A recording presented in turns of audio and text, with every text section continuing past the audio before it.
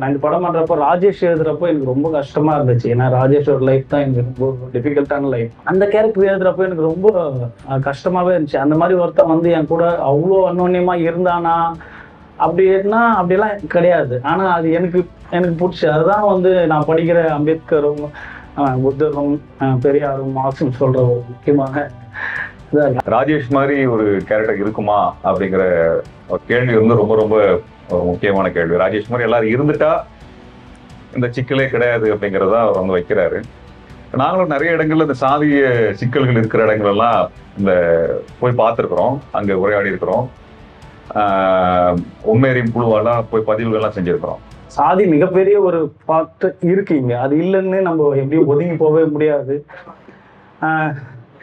அது இல்லாம நின்னா நம்மளால நிறைய விஷயங்களை நம்மளால வந்து ஈஸியா இந்த அரசுக்கு எதிராகவும் அதிகாரத்துக்கு எதிராகவும் நம்ம வந்து நிறைய கேள்விகளை கேட்டு நம்மளுக்கான இது வந்து பண்ண முடியும் அப்படின்றது தான் என் நம்பிக்கை. இது சும்மா ஒரு நம்பிக்கையின் பேர்ல எடுத்த படம் தான் நான். நான் விரும்பினேன் அது அதை எப்படா சாத்தியமே இல்லை அப்படின்லாம் என்ன நிறைய பேர் கேட்டாங்க. எழுதுற அப்படி? எப்படி அவன் அப்படி அவன் சேர்ந்துருவான்? அப்படி. சே அவன் அவன் ரியலா சேரலாம் எனக்குன்னு ஒரு ஆசை இருக்கு. எனக்குன்னு ஒரு படைப்பாளியா ஒரு ஆர்டிஸ்டா நான் விரும்புற ஒரு வேர்ல்டு தான் நான் கிரியேட் பண்ணேன் எப்படி ஒருத்தரால ஒரு குழந்தைய வந்து புண்படுத்தக்கூடிய அளவுக்கு சாதிய வன்மம் வந்து அவங்கள ஒரு மிருகமா மாத்தி இருக்குதுங்கிறது எங்க ஊருக்கு நீங்க வந்தீங்கன்னாவே தெரியும். அந்த ஊருக்கு போனோடனே அது என்ட்ரன்ஸ்ல ஒரு சிலை. நாங்க தான் முத முதல்ல வைக்கிறோம் எங்க ஊர்ல அரக்கோணம் கொஞ்சம் ஒரு கொஞ்சம் முற்போக்கான ஒரு இதுதான். கோபால் செட்டியார்ன்றவர் தான் ஆதி திராவிடர்னு ஒரு புக் எழுதியிருப்பார். அங்கதான் கலப்பணி பண்ணியிருப்பார். அங்க வந்து ஆயிரத்தி இன்னொருத்தருமே கேட்டாங்க என்ன ஒருத்தர். அப்போ வந்து அயோத்திதாசரே தெரியாது உங்களுக்கு அப்படின்னாங்க. ஏன்னா அங்கே ஆயிரத்தி தொள்ளாயிரத்தி எழுபத்தி எட்டுலயே அயோத்திதாசர் மன்றம் இருக்கு எங்க ஊர்ல. அஹ் அரக்கோணம் வந்து எங்க பார்த்தாலும் நீங்க எங்க திரும்பினாலும் அம்பேத்கர் சிலைகளா இருக்கும். ஒரு மாதிரி அது இருக்கிறது அப்படியே ரீக்ரியேட் பண்ணேன் நான். இப்போ அஹ், கூண்டுக்குள்ள தான் இருக்கு. நான் படிக்கிற பூண்டது கூண்டு இல்லாமல் இருந்துச்சு. அது வைக்கிறதுக்கும் கொஞ்சம் பிரச்சனையாக தான் இருந்துச்சு.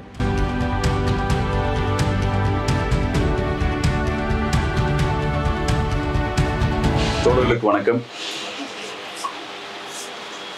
அவயம் என்கின்ற இந்த வாசிப்பு வட்டத்தினுடைய தொடர் நிகழ்வுகள் ஓராண்டுகளாக நடந்து கொண்டிருக்கின்றன. இந்த ஓராண்டிலே பல்வேறு படைப்புலக தோழர்களை நாம் இங்கே அழைத்திருந்திருக்கிறோம் பல்வேறு உரையாடல்கள் இங்கே இளம் தலைமுறையினரை பயன்படுத்துகின்ற வகையிலே அவர்கள் பல கருத்துக்களை நம்ம இடத்துல முன்வைத்திருந்தார்கள். அந்த விவாதம் தொடர்ச்சியாக நடந்து கொண்டிருக்கிறது. கலை இலக்கியம் அரசியல் என்று இந்த துறைகளில் இயங்கக்கூடிய படைப்புலக தோழர்களை நாங்கள் இங்கே தொடர்ச்சியாக இந்த நிகழ்வில் பங்கெடுக்கின்ற வகையிலே அழைத்து அவர்களை இளம் தலைமுறையினோடு உரையாடுவதும் புத்தகங்கள் வழியாக எவ்வாறு தங்களுடைய கருத்துக்களை செழுமைப்படுத்துவது என்பது குறித்து அவர்கள் அனுபவத்தை தெரிந்து கொள்வதும் என்கின்ற வகையில் இந்த உரையாடல் என்பது இந்த வாசிப்பு வட்டம் என்பது தொடர்ச்சியான நிகழ்வுகளை நடத்தி வருகிறது. அந்த வகையிலே இன்று நம்மோடு ப்ளூ ஸ்டார் என்கின்ற ஒரு அற்புதமான திரைப்படத்தை இயக்கி நம்ம இடத்துல நிகழ்ந்து கொண்டிருக்கக்கூடிய சாதியம் குறித்தான அந்த விவாதத்தை கூர்மைப்படுத்துகின்ற விதமாகவும் அதை அடுத்த கட்டத்திற்கு நகர்த்துகின்ற ஒரு முயற்சியிலே தனது படைப்பும் ஒரு பங்களிப்பை செய்ய வேண்டும் என்கின்ற சமூக அக்கறையோடு படைத்திருக்கக்கூடிய தோழர் இயக்குனர் ஜெயக்குமார் அவர்களோடு இந்த உரையாடலை நாம் இந்த மாலையில் நிகழ்த்த இருக்கின்றோம். இந்த அவயம் அரங்கிற்கு வந்திருக்கக்கூடிய தோழர் ஜெயக்குமார் அவர்களை நான் பெரும் மகிழ்வோடும் தோழமையோடும் வரவேற்று மகிழ்கின்றேன்.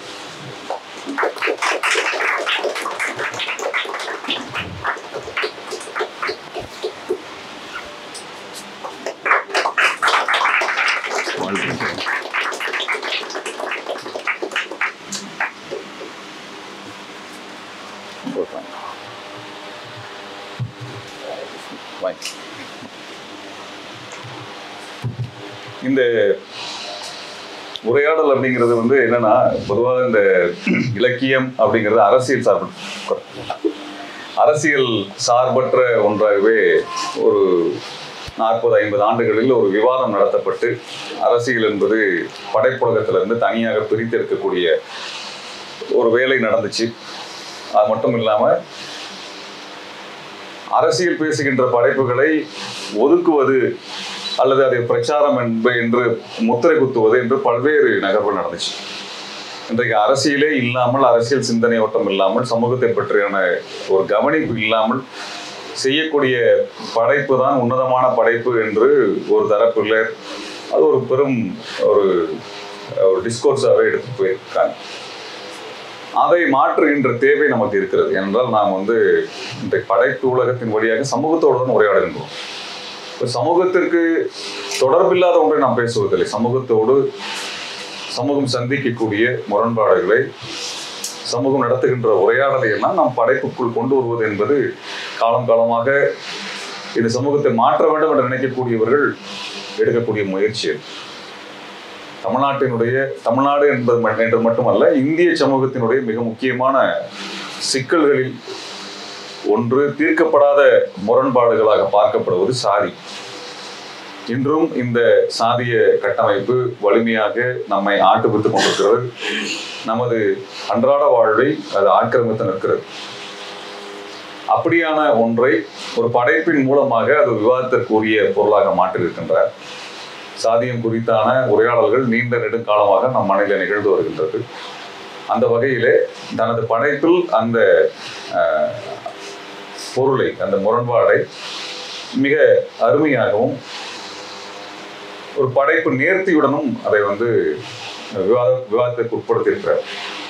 இன்றைய தலைமுறையினரிடத்திலே சென்று சேரும் வகையிலும் அன்றாடம் நாம் கவனிக்கக்கூடிய நிகழ்வுகளில் வெளிப்படுகின்ற அந்த சாதிய உணர்வை அந்த நுணுக்கமான அந்த பாகுபாடுகளை காட்சிப்படுத்துவதன் வழியாகவும் அந்த கதாபாத்திரங்கள் அந்த பாகுபாடுகளை மிக நுணுக்கமாக வெளிப்படுத்துகின்ற விதமாகவும் திறமையாகவும் இந்த திரைப்படம் அமைந்திருந்தது.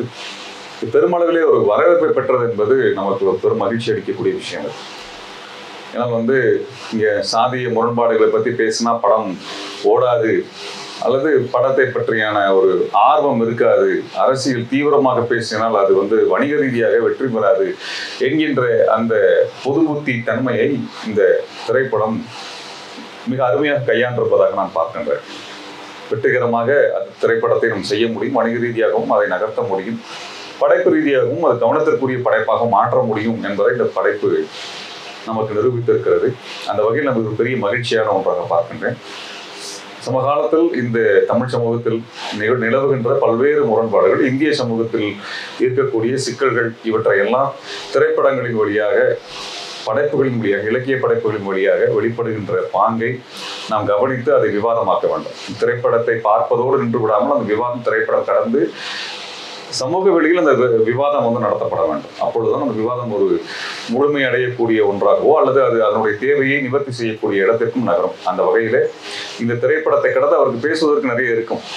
திரைப்படத்தில் பேசுவதற்கான வாய்ப்புகள் குறைவு அதற்கான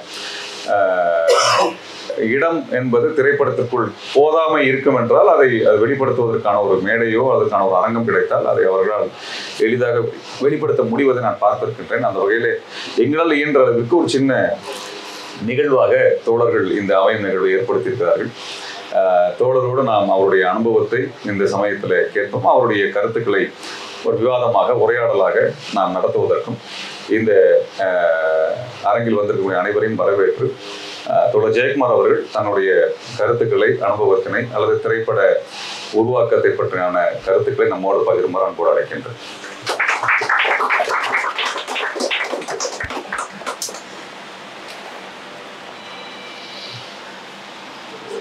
எல்லாருக்கும் வணக்கம். நம்ம திரும்பி ஒரு விவாதம் மாதிரி வச்சுட்டா நல்லா இருக்கும் அப்படின்னு.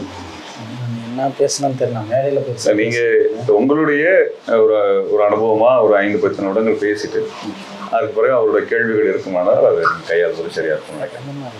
உங்களுக்கு உங்களுடைய விருப்பம் அது எதை வேணா நீங்க பேசலாம். எதை பேச இங்கே எங்களுடைய மேடையில் எந்த தயக்கமும் நீங்க பட வேண்டியதில்லை. எதை வேணா நீங்க பேசலாம். எதை பற்றியும் விவாதத்துக்கு உட்படுத்தணும் உட்படுத்தலாம். எங்களுக்கு வந்து அந்த மாதிரி எந்த சிக்கலும் கிடையாது. இல்லை, நான் அந்த படம் பண்ணோம் அப்படின்றது மட்டும் நான் பேசினேன் ஏன் இந்த படம் நான் பண்ணோம் அப்படின்னு யோசிச்சது வந்து பேசலாம் அப்படின்னு அது அதுக்கு முன்னாடி ஒரு ஒரு சின்ன என்னுடைய கருத்து என்னன்னா இதுக்கு இந்த படத்தை செய்த செய்வதற்கான அனைத்து வாய்ப்புகளும் ஏற்படுத்தி கொடுத்த தோழர் ரஞ்சித்துக்கு நாம் வந்து மகிழ்ச்சியை வந்து வெளிப்படுத்துவோம் ஏன்னா நாங்கள் டிஸ்கஷன் பண்ணுறப்ப இந்த மாதிரி பிரச்சனைகளை பற்றி தான் நாங்கள் சார் பேசுவோம் நாங்கள் சார் தோழர் தெரியுமா? தெரியாதான்னு தெரியாது. அவரோட நிறைய போராட்டங்களை நான் தனியாக போய் கலந்துருந்துருக்கேன். வள்ளூர் கூடத்தில் நடந்த ஒரு ரெண்டு போராட்டத்தில் நான் வந்து நின்று இருந்தேன் சார். நான் உங்களுக்கு பார்ப்பேன். நிறைய ஃபாலோ பண்ணேன் அவர் பேசுறது எனக்கு பயங்கரமாக பிடிக்கும். அவர் ஏன்னா நிறைய ஒர்க் பண்ணியிருக்காரு. அதுக்காக நான் நான் ரஞ்சித் எங்கள் டீமு சினிமா குறித்து பேசுகிறப்போ மேக்ஸிமம் இந்த மாதிரியான பிரச்சனைகளை பற்றி நிறைய பேசணும் அதை படம் பண்ணணும் இந்த மாதிரி விஷயங்கள் பேசுவோம். அது அதுக்கப்புறம் எனக்கு ஒரு விஷயம் நான் படிக்கிறது தான். இங்கே இங்கே உள்ளே வந்தவொடனே ரொம்ப சந்தோஷமாக இருந்துச்சு. இந்த புக் ஷாப் ரொம்ப அழகாக இருக்குது ஃபஸ்ட்டு பார்க்கறதுக்கு நான் இதான் முதல் முறையாக வரேன்.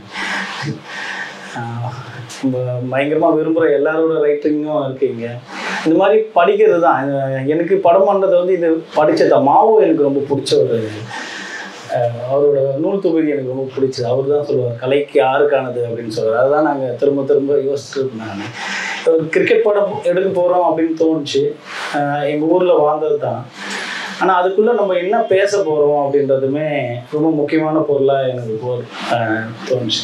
ஏன்னா எங்கள் ஊரில் நாங்கள் சேர்ந்து தான் சார் ஆடணும் அது முழுக்க முழுக்க என்னோடய வாழ்க்கை எங்கள் நாங்கள் வாழ்ந்த விதத்தை தான் நான் அப்படியே படம் பண்ணியிருக்கேன். அது கொஞ்சம் கமர்ஷியலாக கமர்ஷியல் மீன் எல்லாருக்கும் பிடிக்கிற மாதிரி. நாங்கள் புதுசாக எதுவும் மாற்றாமல் இங்கே எல்லாரும் சேர்ந்து நின்னா என்ன ஆகும் அப்படின்றது தான் அதோட மைய கருத்தாக வச்சுட்டு நாங்கள் ஒரு ஒர்க் பண்ணோம் நாங்கள் அது மாதிரி நாங்கள் சேர்ந்து ஆடி இருக்கோம் எங்கள் ஊரில். ஊரும் காலையும் தனித்தனியாக ஊருக்குள்ளே ஆடுவோம். ஆனால் வெளியே போகிறப்போ ஒரு டீமாக நாங்கள் தனியாக சேர்ந்து போய் நிற்போம். அதுலேருந்து ஒரு ரெண்டு பேர் இதுலேருந்து ஒரு ரெண்டு நாலு பேர் அப்படின்னு சொல்லிட்டு. ஒரு டீமாக சேர்ந்து ஆடுறப்போ எங்களுக்கு வந்து அரவணத்துலேயே பெரிய டீமாக நாங்கள் நின்னோம். எங்களை யாருமே ஜெயிக்கவே முடியல. அது எனக்கு ரொம்ப அந்த பாயிண்ட் தான் எனக்கு ரொம்ப பிடிச்சிச்சு. அதுலேருந்து தான் நான் படம் பண்ணணும் அப்படின்னு ஆசைப்பட்டேன் ஏன் ஏன் சேரக்கூடாது? இப்போ வெளியே அவங்களுக்கு சேர்ந்துட்டீங்கன்னா எவ்வளோ பெரிய டீம் அங்கே உண்மையாகவே அங்கே ஒரு எம்ஆர்எஃப் இருக்குது சார். அங்கே எம்ஆர்எஃப் இருக்குது அந்த எம்ஆர்எஃப் டீம் கூட நாங்கள் ஆடி இருக்கோம். எங்களுக்கு நாங்கள் தோற்றுருக்கோம் அதே டைம் நாங்கள் வந்து ரெண்டு டீமும் ஒன்றா சேர்ந்து ப்ராக்டிஸ் பண்ணி போய் அவங்கள வின் பண்ணியும் இருக்கோம். இந்த சாத்தியம் வந்து இருக்குது அதான் இப்போ கூட நம்ம இ- இந்த மாதிரி யோசிக்கிறதுக்கு வந்து ரொம்ப கம்மியான ஆட்கள் தான் இருக்காங்க. நான் வந்து அதுதான் யோசிச்சேன் நான் இந்த படம் பண்ணுறப்போ ராஜேஷ் எழுதுறப்போ எனக்கு ரொம்ப கஷ்டமாக இருந்துச்சு. ஏன்னா ராஜேஷோட லைஃப் தான் எனக்கு ரொம்ப டிஃபிகல்ட்டான லைஃப் அவர் எழுதுறது ரொம்ப கஷ்டப்படும். அது நானும் ரஞ்சித் எனக்கு நிறைய சொல்லுவேன் ரஞ்சித் என் ஃப்ரெண்டுன்றதால நான் காலேஜ் அதை பற்றி தான் நிறைய பேசிகிட்டு இருப்போம். அந்த கேரக்டர் எழுதுறப்ப எனக்கு ரொம்ப கஷ்டமாகவே கஷ்டமாவே இருந்துச்சு. அந்த மாதிரி ஒருத்தன் வந்து என் கூட அவ்வளோ அன்னோன்யமா இருந்தானா? அப்படின்னா அப்படிலாம் கிடையாது. ஆனால் அது எனக்கு எனக்கு பிடிச்சி. அதுதான் வந்து நான் படிக்கிற அம்பேத்கரும் புத்தரும் பெரியாரும் மார்க்ஸும் சொல்கிற ஒரு முக்கியமான இதாக இருக்குது அதோட என் பாயிண்ட் அதுதான். எஸ்விஆர் எனக்கு எஸ்விஆர் தவிர கூட நான் பேசிட்டே இருப்பேன். எனக்கு ரொம்ப பிடிச்ச தவிர எனக்கு. அவர் கூட பேசுகிறப்போ அவர் தான் எனக்கு நிறைய பெரியார் பற்றி நிறைய சொல்லுவார். பெரியாரும் அம்பேத்கரும் நான் அவராண்டிருந்து எக்கச்சக்கமாக நான் வந்து லேர்ன் பண்ணிக்கினேன் அப்படின்னு தான் நினைப்பேன். நிறைய நிறைய இருக்கும் அவர் கூட பேசிகிட்டு இருக்கு. அதே மாதிரி மார்க்ஸ் அவருக்கு மார்க்சிஸ்ட் அவர்.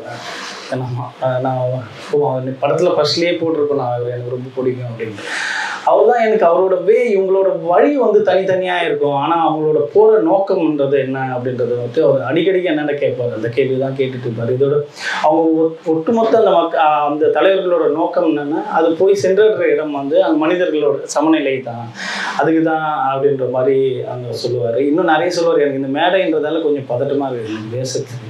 திரும்ப திரும்ப மேடையில் நான் பேசுனதே கிடையாது. நான் ஒர்க் பண்ண சொன்னால் பண்ணுவேன் நான். அதுக்கான கதை அதுக்குள்ளே போவேன் நான். அந்த மேடையெல்லாம் எனக்கு பேசி பழக்கமே கிடையாது சார். அதுதான் அந்த எனக்கு என்னென்னா திரும்ப சின்ன சின்ன பிரச்சனைகள் தான். நான் எல்லாத்துலேயும் பேசினேன். அதுவுமே இங்கே பேசணும் தான் அப்படின்னு. நம்ம இது மாதிரியான முற்போக்கு சிந்தனை உள்ள ஒரு நம் நம்ம வந்து ரொம்ப பேர் தனித்தனியாக இருக்கிறோமோ அப்படின்ற எனக்கு ஒரு ஃபீல் இருக்குது நம்ம ஏன் இவங்களுக்குள்ள இவங்க பெரியவங்க அவங்க பெரியவங்கன்னு பேசிட்டு நிறைய டைம் வந்து வேஸ்ட் ஆயிடுது. அது ஏன்? அது என்னன்னு என்ன? அதுக்குள்ள போல. ஆனா நம்மளோட எதிரி வந்து மிக பலமா இருக்கிறாருன்னு தான் நான் தோணும் எனக்கு. எதிரி வந்து பயங்கர ஸ்ட்ராங்கா அவன் எல்லாத்தையும் வந்து எல்லாரையும் எல்லாத்தையும் தூக்கி அவன் ஒன்றா ஆயிக்கிறான் ஒன்றா ஆக்கி அவன் பயங்கர பலமா நிற்கிறான் அப்போ நம்ம வந்து தனித்தனியாக பிரிஞ்சிருந்தா அவனுக்கு இன்னும் பயங்கர ஜாலியாக தான் இருக்கும்னு நினைக்கிறான். அவன் நம்ம ஈஸியாக அட்டன் பண்ணிட்டு போயிடுவார் நம்மள. அதுதான் நான் அந்த படத்துலுமே நான் அதுதான் திரும்ப திரும்ப வச்சுட்டே இருந்தேன் நான். நம்ம ஒன்றா இருந்தால் என்ன இருக்கும் நம்ம நான் ஒரு எனக்கு தனி மனுஷன் மேலே யார் மேலேயுமே சண்டையே கிடையாது. எனக்கு அவங்களோட தத்துவங்கள் மேலே தான் நான் வந்து கேள்வி கேட்கணும் அப்படின்னு யோசிச்சேன் நான். தத்துவங்கள் கூட தான் என்னோட ஃபைட்டாக இருக்கணும்.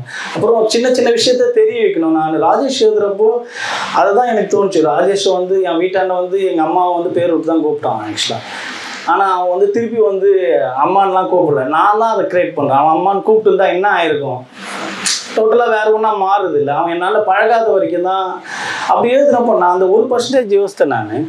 ஆனால் கடைசியாக பார்த்தா எனக்கு இந்த படம் நல்லா கொஞ்ச இடத்துல நான் கோயம்புத்தூர் மதுரையெல்லாம் போய் பார்க்குறப்ப தான் எனக்கு ரொம்ப சந்தோஷமாக இருந்துச்சு. அந்த நான் நினச்சேன் அந்த ஒரு பர்சன்டேஜ் ராஜேஷ் கிடையாது. தொண்ணூறு பர்சன்டேஜ் ராஜேஷ் இருக்காங்க இங்கே எல்லாருமே சேர்ந்து இருக்கலாம்னு தான் ஆசைப்படுறாங்க. அவங்க ஏதோ ஒரு விதத்தில் புரிஞ்சுருக்கிறாங்கன்றது தான் உண்மையே.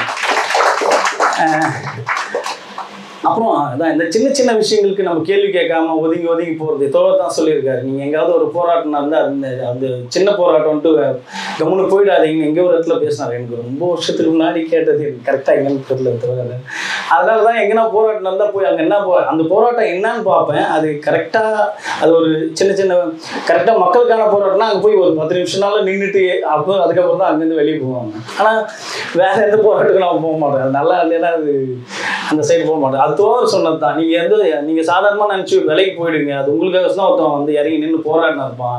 நீங்கள் அதை கவனிக்கிறதே இல்லை அப்படின்னு நான் கரெக்டாக தான் சொல்கிறேன் எனக்கு அந்த வார்த்தை எனக்கு கரெக்டாக ஞாபகம் இருக்குது. நான் நீங்கள் கேட்டது தான் அதான் என்னன்னா ஒரு டீசல் விலை ஒரு பெட்ரோல் விலை ஒரு கேஸு எல்லா விலைகளும் வந்து ஏற்றிட்டே இருக்காங்க. இது எல்லாருக்குமே ஒரு பிரச்சனையாக தான் இருக்குது நம்மளுக்கு. ஆனால் நம்ம ஒரு நாளுமே அதுக்கோசம் சேர்ந்து நிற்கிறதே இல்லை. சேர்ந்து நின்னா கண்டிப்பாக வந்து அவன் குறைச்சிருவான் வேலையை. அவனால் நிச்சயமாக வந்து பெட்ரோல் அவன் இப்போ இருபது நாள் வச்சுக்கின்னு விற்காம என்ன பண்ணுவான்? ஆனால் அவன் இது- இது வரைக்கும் அவன் அந்த இடத்துக்கே போக மாட்டான். நம்ம வந்து நூறுரூபா ஏற்றினாலும் நம்ம அங்கேயே தான் நின்றுட்டே இருக்கோம் நூறுரூபா எல்லாருக்குமே பிரச்சனையாக தான் இது.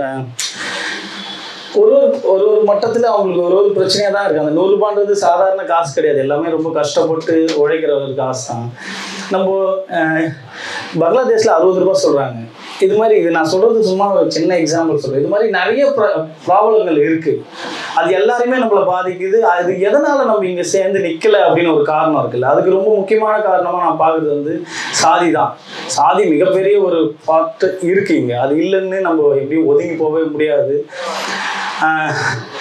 அது இல்லாமல் நின்னா நம்மளால நிறைய விஷயங்களை நம்மளால வந்து ஈஸியாக இந்த அரசுக்கு எதிராகவும் அதிகாரத்துக்கு எதிராகவும் நம்ம வந்து நிறைய கேள்விகளை கேட்டு நம்மளுக்கான இதை வந்து பண்ண முடியும் அப்படின்றது தான் என் நம்பிக்கை. இது சும்மா ஒரு நம்பிக்கையின் பேரில் எடுத்த படம் தான் நான். நான் விரும்பினேன் அது அதை இப்போ சாத்தியமே இல்லை அப்படின்லாம் என்னை நிறைய பேர் கேட்டாங்க. எழுதுறப்ப எப்படி அவன் எப்படி சேர்ந்துருவான்? அப்படி. சே அவன் அவன் ரியலாக சேரலைன்னா எனக்குன்னு ஒரு ஆசை இருக்கு. எனக்குன்னு ஒரு ஒரு படைப்பாளியாக ஒரு ஆர்டிஸ்டாக நான் விரும்புகிற ஒரு வேர்ல்டு தான் நான் கிரியேட் பண்ணுவேன் அதுதான் அந்த ஒரு புள்ளி அவர் சொன்னார் இல்லைங்களா? நான் எந்த உலகத்தை பார்க்கணும்னு நினைக்கிறேன் எப்படி ஒரு உலகம் இருக்கணும்னு நினைக்கிறேங்கிற படைப்புல வெளிப்படுத்தின விஷயம். ராஜேஷ் மாதிரி ஒரு கேரக்டர் இருக்குமா அப்படிங்கிற ஒரு கேள்வி வந்து ரொம்ப ரொம்ப முக்கியமான கேள்வி. ராஜேஷ் மாதிரி எல்லாரும் இருந்துட்டா இந்த சிக்கலே கிடையாது அப்படிங்கிறத அவர் வந்து வைக்கிறாரு.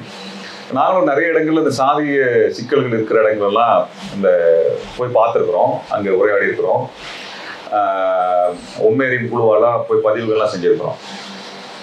இந்த ஜாதிய ரீதியாக நடக்கக்கூடிய தாக்குதல்கள் எல்லாம் பார்த்தீங்கன்னா இருக்கக்கூடிய இடங்கள்ல இது வரட்டு கௌரவத்திலையும் ஒரு ஆதிக்க திமிரும் எடுத்துட்டு பண்ணக்கூடிய நடவடிக்கைகளை பார்த்துருக்கோம். அவன் வந்து அவங்களெல்லாம் வந்து நம்ம அது என்னன்னா ஒரு நான் ஒரு ஒரு ஆறு வயசு பையனை ஒரு ரெண்டு ஒரு எட்டு வயசு ஒரு ரெண்டாம் கிளாஸ் படிக்கக்கூடிய குழந்தைங்களை வந்து சாதி ரீதியாக புண்படுத்துகிற மாதிரி பேசக்கூடிய மனநிலையெல்லாம் பார்க்கும்போது ரொம்ப அதிர்ச்சியாக இருக்கும். எப்படி ஒருத்தரால் ஒரு குழந்தைய வந்து புண்படுத்தக்கூடிய அளவுக்கு சாதிய வன்மம் வந்து அவங்கள ஒரு மிருகமாக மாற்றிருக்குதுங்கிறது இதுதான் அந்த அந்த அந்த பசங்களே சொல்லியிருக்காங்க. ஒரு எட்டு ஒரு ரெண்டாம் கிளாஸ் படிக்கிற பையன் மூணாம் கிளாஸ் படிக்கிற பசங்க அவங்களே சொல்கிறாங்களா அது ஆழமாக படுத்தியிருக்கிறாங்க நீங்கள் இங்கே வந்திருக்கக்கூடிய நண்பர்கள் வந்து இந்த மாதிரி சம்பவங்கள் நடக்கக்கூடிய இடங்களில் என்னன்னு போய் பார்க்கணும்.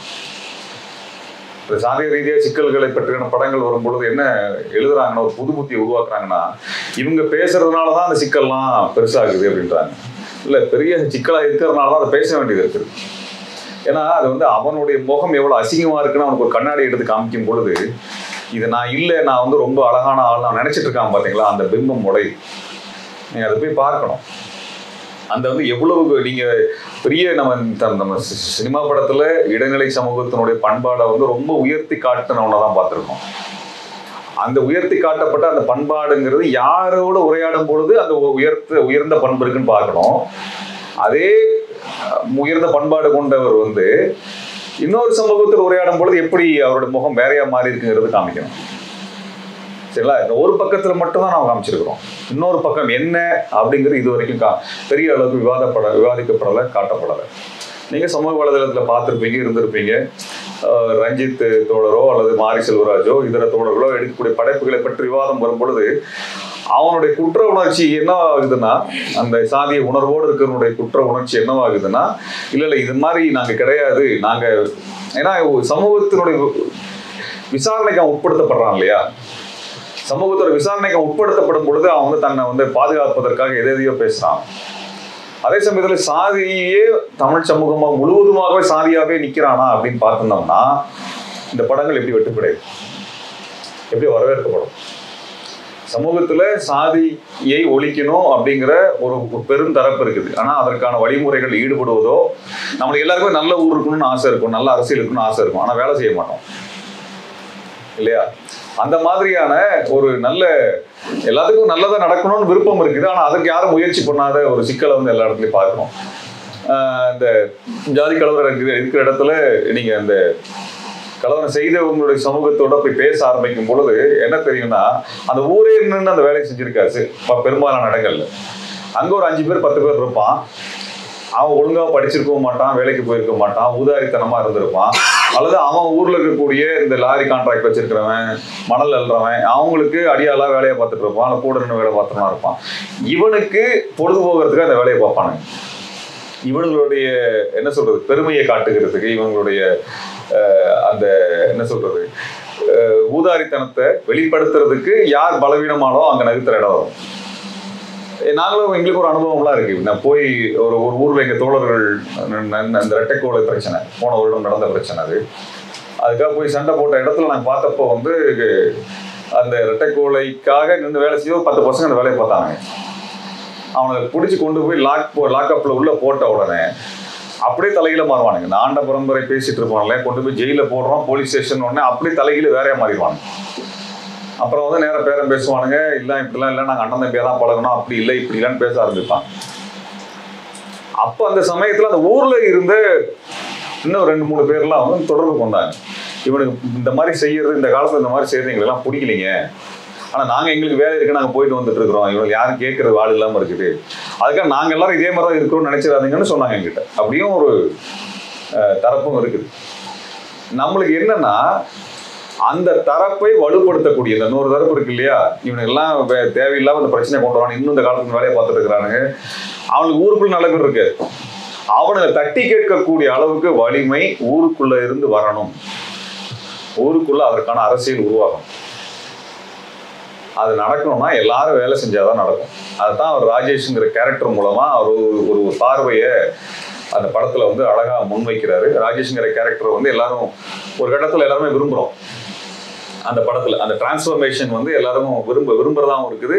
எல்லாத்துக்கும் ஒரு உற்சாகம் கொடுக்கக்கூடியது அந்த படத்தோட பெரிய அளவுக்கு பிணைக்கக்கூடியதாகவும் இருக்கும். இன்னொரு பக்கம் நான் அந்த நான் இன்னும் உண்மையை சொல்லணும். நான் அதிகமாக படம் பார்க்கறது இல்லை. எங்கள் தோழர்களும் படம் வரக்கூடிய தொழில் எனக்கு சொல்லாமல் தான் போயிடுவாங்க எனக்கு கூப்பிட்றதெல்லாம் கிடையாது என்ன. அவங்களாம் படம் பார்த்து வந்து அப்புறம் நல்லா இருந்தது அப்படின்னுவாங்க. நம்ம படம் பார்க்கலாங்கிற யோசனை எப்போ வரும்? நைட்டு பத்தரை பதினொரு மணிக்கு தான் வரும். அதுக்குள்ளே எந்த தேட்டர்லேயும் டிக்கெட் இருக்காது. தோழருடைய படத்தை இன்னைக்கு தான் பார்த்தேன். தப்பா எடுத்துக்காதீங்க ஏதாவது எங்களை ப்ரிவியூ கூப்பிட்டாங்கன்னா படம் பார்க்கறதுக்கு வாய்ப்பு இருக்கும். பெரும்பாலும் நம்ம கூப்பிடுறது இல்லை அதனால இந்த மாதிரியான ஒரு வாய்ப்புகள் உங்களுக்கு இருக்கிறது இல்லை. ஆனால் இன்னைக்கு இது அந்த படத்தை பார்த்த பொழுது அது ரொம்ப உற்சாகமான நான் நாலஞ்சு சம்பவங்களை சொல்லணும்னு நினைக்கிறேன். அது இன்னொரு உரையாடலுக்கு அப்புறம் வந்து நம்ம அதில் எனக்கு பிடிச்ச சில விஷயங்களை நான் சமயத்தில் ஒரு மகிழ்வோட பகிர்ந்துக்கணும்னு விரும்புகிறேன் நான். தோழர் அவரோட அனுபவத்தை சொல்லலாம் அல்லது யாராவது ஒரு கேள்வி கேட்கணும்னா அவர் ஏன்னா ரொம்ப கூச்ச போறாங்க. இது மேடை கிடையாது. இது வந்து ஒரு உரையாடல் தான் அது. எல்லாரும் நண்பர்கள் தான். அவங்க வாசிப்பு விருப்பம் கொண்டவர்கள். இயக்குனரோடு நீங்கள் ஏதாவது கேள்வி கேட்கணும்னு நினைச்சீங்கன்னா கேள்விகள் கேட்கலாம்.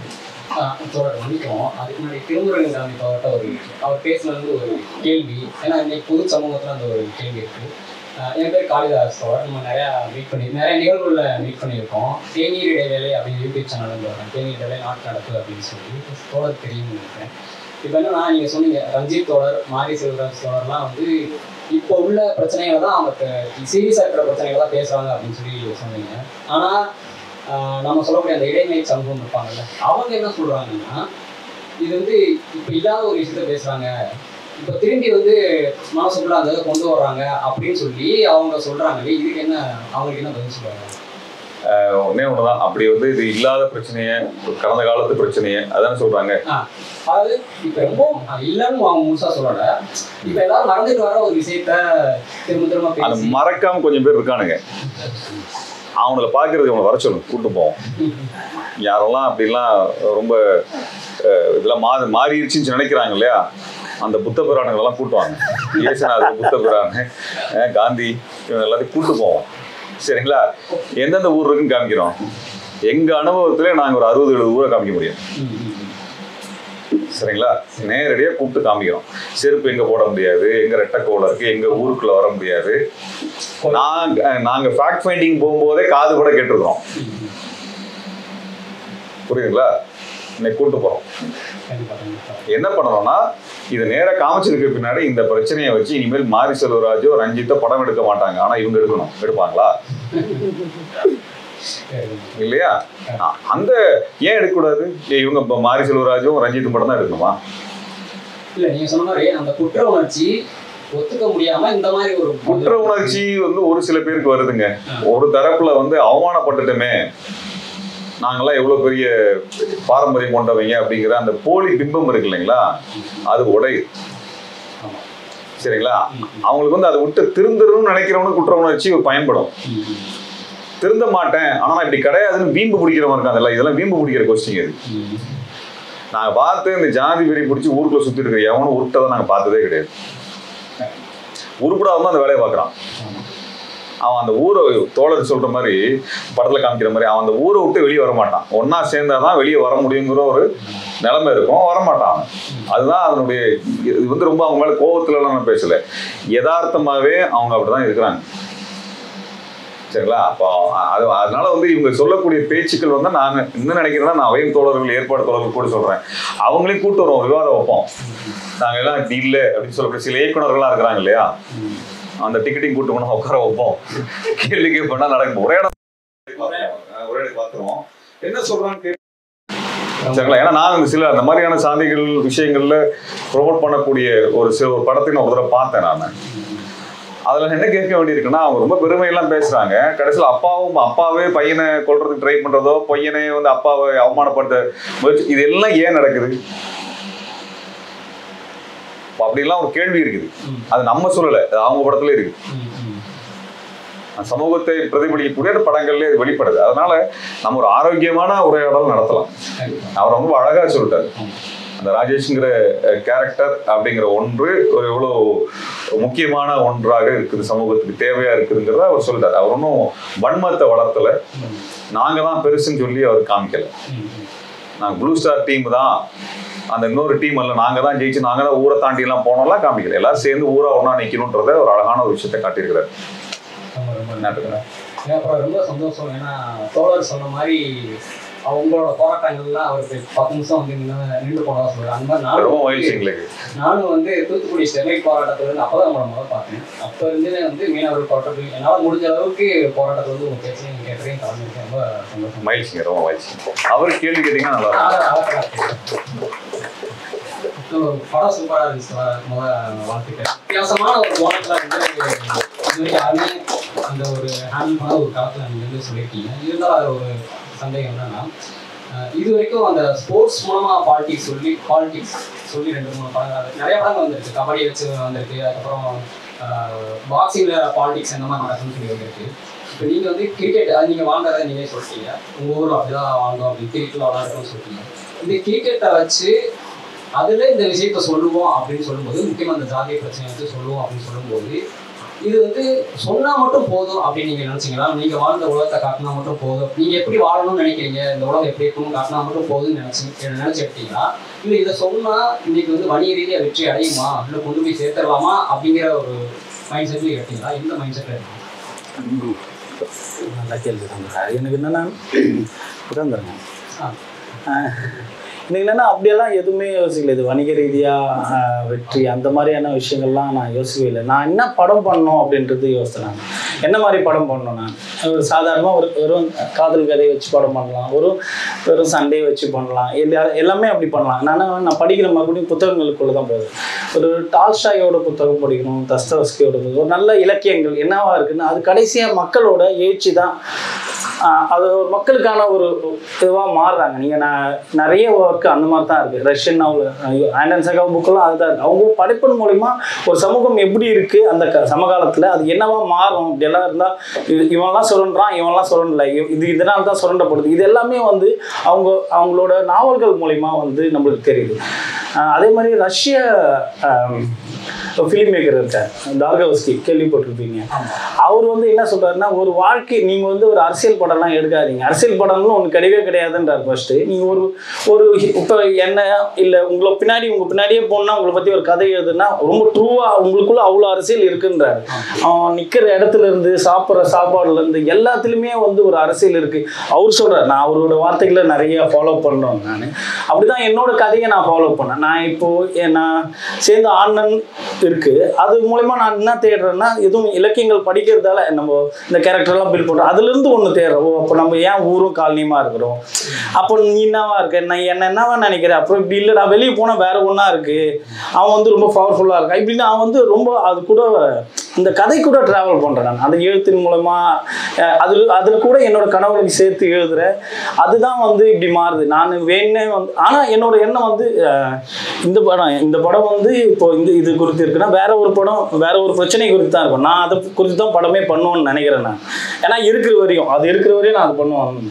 ஸோ வணிக ரீதியே வெற்றி அப்படிங்கிறத தாண்டி இந்த கருத்துக்களை சொல்லணும் இந்த உலகம் நம்ம எதிர்காலத்தில் அந்த உலகம் இப்படிலாம் இருக்கணும் அப்படிங்கிற ஒரு பிரச்சனையை பேசி அந்த உலகத்தை காட்டணும்னு நினைக்கிறேன். Here. ஆமாம் நல்ல படங்கள் எல்லாமே அப்படிதான் இருக்கு. நான் சில்ட்ரன்ஸ் ஆஃப் ஹெவன் நம்ம பார்ப்போம். ஒரு ஷூ படம் தான் அப்படின்னு நினைப்போம். நான் முத முதல்ல பார்த்த உலக சினிமா சில்ட்ரன்ஸ் ஆஃப் ஹெவன் தான். நான் செகண்ட் இயர் ஃபர்ஸ்ட் இயர் நினைக்கிறேன் காலேஜ் நான் பார்த்தேன் அதில் ரொம்ப சின்ன கதை தான். ஒரு ஒரு பையன் வந்து ஷூவை தொலைச்சிருவான் அவன் தங்கச்சி ஷூ அந்த ஷூவுக்கும் அந்த ப- இது ரெண்டு தான் இருக்கும். அது ரெண்டுத்தையும் தாண்டி அது கொஞ்சம் கொஞ்சமாக அப்படியே நகர்ந்தோடனே அவங்களோட லைஃப் ஸ்டைலு நான் அதுக்கு முன்னாடி நான் நான் நான் உண்மையாகவே ரொம்ப ரொம்ப இதுவாக தான் நினைக்கிறேன். நான் ப்ளஸ் டூ படிக்கிற வரைக்கும் காலேஜ் வரைக்கும் ப- வரைக்குமே எனக்கு இங்கே அரசியல் இது எதுவுமே தெரியல. இந்த புத்தகத்தை நான் அம்பேத்கர் மாதிரி ஒரு புத்தகங்கள் வாசிக்கிறதன் மூலிமா கிடைச்சது இருக்குல்ல.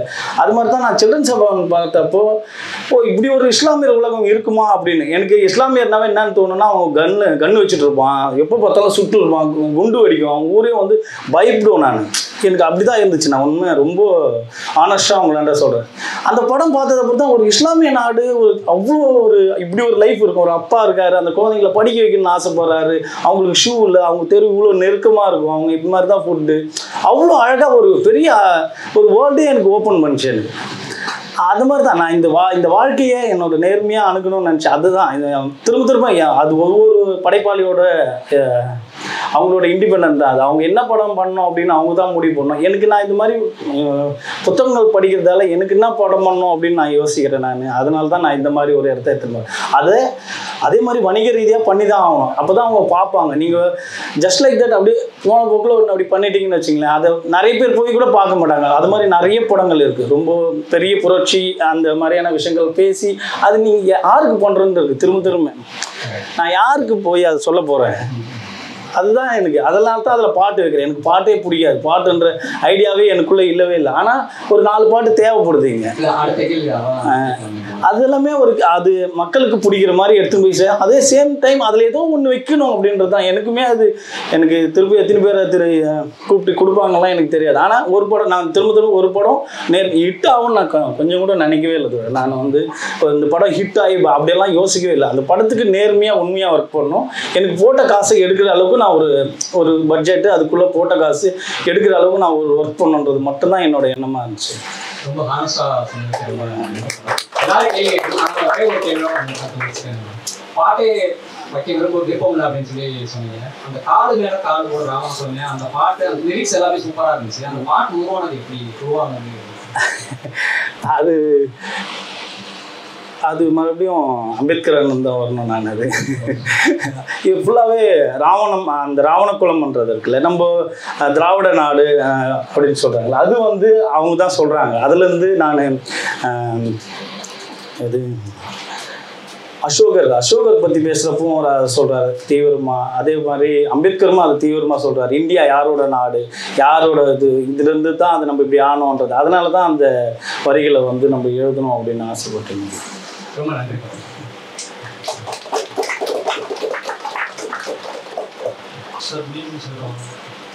புரட்சியாளர் அம்பேத்கரை வந்து ஸ்க்ரீனில் காட்டுறதுங்கிறது ஒரு பெரிய அரசியல் தான் அப்படியே இருந்தாலும் நம்ம ஊரில் நம்ம பார்க்குற முக்காவாசி இடங்கள்ல வந்து அம்பேத்கரோட சிலை வந்து ஒரு கூட்டுக்குள்ளே தான் இருக்கும். இந்த படத்தில் வந்து லைக் கிரவுண்டுக்கு பக்கத்தில் காட்டும் போது எந்த கூண்டுலையும் இல்லாமல் லைக் அம்பேத்கர் சிலையை காட்டியிருக்கீங்க. இது வச்சதா இல்லை லைக் ஓகே பிளான் பண்ணி சொசைட்டியில் இப்படிதான் காட்டுறாங்க. அதை நான் மாற்றி காட்டுறேன்னு வச்சுக்கோங்க. இல்லை இல்லை நான் அப்படி எதுவுமே பண்ணல. எங்கள் ஊருக்கு நீங்கள் வந்தீங்கன்னாவே தெரியும். அந்த ஊருக்கு போனோடனே அது என்ட்ரன்ஸில் ஒரு சிலை. நாங்கள் தான் முத முதல்ல வைக்கிறோம் எங்கள் ஊரில் அதுக்கும் கொஞ்சம் ஒரு கொஞ்சம் முற்போக்கான ஒரு இதுதான். கோபால் செட்டியார்ன்றவர் தான் ஆதி திராவிடர்னு ஒரு புக்கு எழுதியிருப்பார். அங்கே தான் கலப்பணி பண்ணியிருப்பார். அங்கே வந்து ஆயிரத்தி இன்னொருத்தருமே கேட்டாங்க என்ன ஒருத்தர் அப்போ வந்து அயோத்திதாசரே தெரியாதே உங்களுக்கு அப்படின்னாங்க. ஆனால் அங்கே ஆயிரத்தி தொள்ளாயிரத்தி எழுபத்தி எட்டுலேயே அயோத்திதாசர் மன்றம் இருக்குது எங்கள் ஊரில். அர்கோணம் வந்து எங்கே பார்த்தாலும் நீங்கள் எங்கே திரும்பினாலும் அம்பேத்கர் சிலைகளாக இருக்கும். ஒரு மாதிரி அது இருக்கிறது அப்படியே ரீக்ரியேட் பண்ணேன் நான். இப்போது அஹ், கூண்டுக்குள்ளே தான் இருக்குது நான் படிக்கிறப்போ வந்து அது கூண்டு இல்லாமல் இருந்துச்சு. அது வைக்கிறதுக்கும் கொஞ்சம் பிரச்சனையாக தான் இருந்துச்சு. அதுதான் சில சின்ன சின்ன கேள்விகள் இருக்கு. ஆஹ் ஹீரோவோட இன்ட்ரோடக்ஷன் ஷார்ட் நம்ம காட்டும் போதே அவர் வந்து ஒரு தம்பி வந்து மேலே வந்து நாங்கள் அட்ஜஸ்ட் பண்ணுறப்பாரு கிரிக்கெட் மேட்ச் பார்ப்பாரு. இதே கைண்ட் ஆஃப் ஷாட் தான் வந்து டங்கல் படத்தில் அமீர் கானோட என்ட்ரி சீனாகவும் இருக்கும். அவரை காட்டும் போதே அவர் ஆஃபீஸில் வேலை செய்கிறவர் வந்து ஆண்ட்ரா அட்ஜஸ்ட் பண்ணுவார் இவர் வந்து ரெஸ்லிங் மேட்சை பார்த்துட்டு இருப்பார். ரெண்டுமே ஸ்போர்ட்ஸ் படங்கிறதுனால ஒரு சின்ன ஒரு இது. ஒரு ஸ்போர்ட்ஸ் படத்தில் வந்து நமக்கு வந்து இப்போ ஐபிஎல் எஸ்டாப்ளிஷ் ஆனதுனால வந்து கிரிக்கெட் வந்து ரொம்ப சுவாரஸ்யமாக நம்ம பார்த்து பழகிட்டோம். அதே அளவு சுவாரஸ்யத்தை படத்தில் காட்ட முடியும்னு நீங்கள் நினச்சிங்களா? ஏன்னா செகண்ட் ஹாஃபில் ஒரு ஒன்றரை மணி நேரம் பக்கம் நமக்கு கிரிக்கெட் போச்சுணும் லைக் கண்டினியூஸாக அதான் நடக்குது மேட்சஸ் என்னோட கேள்வி என்னென்னா இப்போ அடிக்கவே முடியாத ரன் எல்லாத்தையுமே ரியல் டைம்ல பிளேயர்ஸ் அடிக்கிறாங்க. பட் அதே சினிமாவில் காட்டினா நம்ம நம்ப மாட்டோம். இது எப்படி சாத்தியம் அப்படிங்கிற ஒரு கொஸ்டின் வரும். ஏன்னா ரியாலிட்டி மாதிரி இல்லைன்னு சொல்லிட்டு. நீங்கள் வந்து லைக் மேட்சஸை வந்து ரொம்ப லிட்டா காட்டிருக்கீங்க அதில் எனக்கு சின்ன விமர்சனம் என்னன்னா ஹீரோ கேரக்டர் ஒரு ஃப்ரெண்டு தம்பி இவங்க மூணு பேரை தாண்டி மிச்சம் எட்டு பிளேயருக்கும் பெருசாக டீட்டெயிலிங் இல்லையோங்கிற ஒரு ஃபீல் இருந்துச்சு. பதினோரு பேர் கேமுங்கிறதுனால எல்லாத்துக்கும் சின்ன சின்ன ஸ்க்ரீன் ஸ்பேஸ் கொடுத்துருந்தா இன்னும் இது ஒரு ஒரு விளையாண்ட மாதிரி இருக்குமோ அப்படிங்கிற மாதிரி. ஏன்னா ரஞ்சித் ஆடினா தான் உண்டு. அதை விட்டா ராஜேஷ் அதை விட்டா தம்பிக்கு. நமக்கு என்னன்னா ஒரு எல்லாருக்கும் ஒரு குட்டி குட்டி மொமெண்ட் கிரியேட் ஆயிருந்தா கூட வந்து இது கிரிக்கெட் படமாவுமே ஆடியன்ஸ் கொண்டாடுறதுக்கு இன்னும் ஒரு வாய்ப்பாக அமைஞ்சிருக்குமே அப்படிங்கிறது ஒரு சின்ன கேள்வியும் விமர்சனமும் இருந்துச்சு. அதெல்லாம் டைம் இல்லாமல் தூக்கிட்டேன் நான். எல்லாமே பரத் ஒரு சூப்பரான பவுலரு மாதிரி எல்லாருமே ஒரு நல்ல இது வெங்கட்டே வந்து நல்ல ஆர்டர் பையன் தான் அவன். அவன் வராமல் போயிடுவான்றது இருக்கும். சின்ன சின்னது இருந்துச்சு அதுக்கப்புறம் நான் அதை எடுத்துட்டு அது தேவைப்படல. இவங்க மேலே கதை போகலாம் அப்படின்ட்டு நான் அதை தூக்கிட்டேன். இன்னொரு சின்ன விமர்சனம் பொதுவாக வந்து இத்தனை காலமாக சினிமாவில் காட்டினது வந்து லைக் ஒரு குறிப்பிட்ட ஜாதியை வில்லனாவே காட்டிட்டு இருப்பாங்க. இப்போ நம்ம லைக் ஒரு ஆல்டர்னேட்டிவ் சினிமாக்கு வந்ததுக்கு அப்புறம் தான் அந்த பார்வை மாற ஆரம்பிச்சது.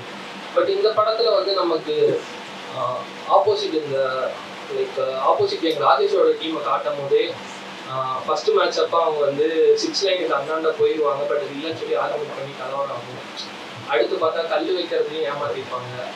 தென் டோர்னமெண்ட்டில் ஜெயிக்க முடியாதுன்னு தெரிஞ்சு டிஸ்ட்ரிக்ட் லைக் ப்ரொஃபஷனல் பிளேயர்ஸை கூப்பிட்டு வர்றது. இப்போ இந்த பெர்ஸ்பெக்டிவ்ல இருந்து பார்க்கும்போது உங்களோட பார்வையில் ஆப்போசிட் இருக்கவங்க எல்லாமே தப்பு பண்ற மாதிரி ஒரு அங்க ஒருக்க ஸ்போர்ட்மேன்ஷிப்போட இருக்க மாதிரி காட்டியிருக்காங்க. ஏன்னா ஸ்போர்ட்ஸ் தான் டிசிப்ளினை தருங்கிறது படத்துலையும் படத்துலயும் வரும் அது உண்மையும் கூட. அப்படி இருக்கும்போது வந்து ஆப்போசிட் இருக்க ஒருத்த ஒரு இடத்துல ஏய் என்னடா சும்மா அவங்ககிட்ட அவங்க பண்ணிருக்கீங்க? காம்ப்ரமைஸா போலாமே ஒரு சின்ன இனிஷியேட்டிவ் அது இருக்குமே.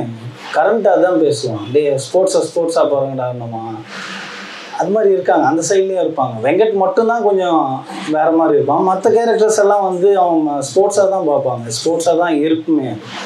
அதில் மணியே அதான் சொல்லுவார். ஆனால் அவன் சண்டை போட்டு இதுவே நீ சேர்ந்து ஆடுங்கன்னு தான் சொல்லுவார். மணின்ற கேரக்டர் தான் அங்கே வெட்டி இருப்பான் அவனே வந்து வந்து கடைசியாக என்ன சொல்லுவான்னா நீ அப்படிலாம் இருக்காதீங்க. வேணா நீங்கள் வந்து சேர்ந்து ஆடுங்கன்னு தான் சொல்லுவான். சண்டைலாம் போடாதீங்கன்னு தான் சொல்லுவான். அப்புறம் கரண்ட் இருக்காரு. அப்புறம் வேற யாரு? இன்னும் ரெண்டு மூணு பேர் இருப்பாங்க.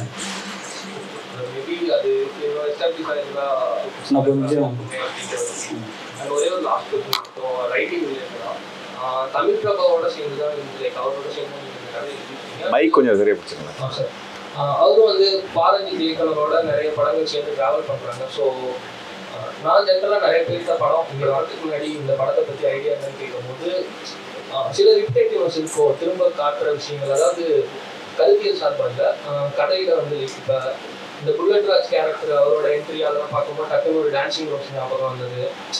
தம்பி சாமோட கதை டக்குனு அந்த லவ் ட்ராக் பார்க்கும்போது ஒரு அட்டகத்தி மியூசிக் ஹேண்டில் பண்ணதுமே ஏதோ அட்டகத்தி படத்தில் வர ஒரு சினாரியோ மாதிரி இந்த மாதிரி ஒரு ஃபீல் அண்டு கொஞ்சம் ஒரே இயக்குனரோட ஒரே எழுத்தாளரோட கம்பைன் பண்ணும்போது அந்த கதைக்கான சூழல் வந்து திரும்ப ரிப்பீட் ஆகுற மாதிரி ஒரு ஃபீல் இருக்கு. அடுத்த கதைகளில் நீங்கள் புது எழுத்தாளரோட கொலாபரேட் பண்ணலாங்கிற ஐடியாவில் வச்சுருக்கீங்க.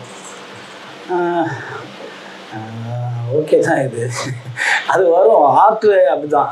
ஓகேங்களா ஒரு கலையே வந்து ஒருத்தரோட அந்த இது வரும். ஒரு இப்போ எல்லோ வந்து வேங்காக் டைமில் வந்து எல்லோ தான் ரொம்ப பிரதான கலர் அப்போ எல்லாமே வந்து அந்த அந்த கண்டெம்பரரி ஆர்டிஸ்ட் எல்லாமே எல்லோவை ட்ரை பண்ணியிருப்பாங்க.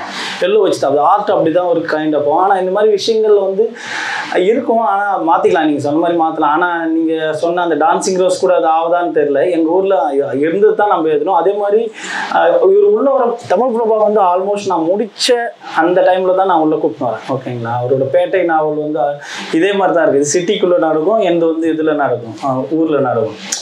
அது அந்த உள்ள வந்தோடனே இந்த இது தான் மாற்றுறோம் அந்த லவ் போர்ஷன் மட்டும் தான் மாற்றணும் நாங்கள் அவங்க வந்து ரஞ்சித் லவ் பண்ணது மாதிரி இருக்கும் நிறைய பொண்ணு. அதை வந்து சேம் மேலே தூக்கி போட்டோம் கொஞ்சம் சின்ன சின்ன மாற்றங்கள் பண்ணோம் நாங்கள் அதுதான் மற்றபடி பெரிய இன்ஃப்ளூயன்ஸ் எல்லாம் பண்ணல. அது இருக்கிற லைஃப் அப்படியே ஹேண்டில் பண்ணணும்.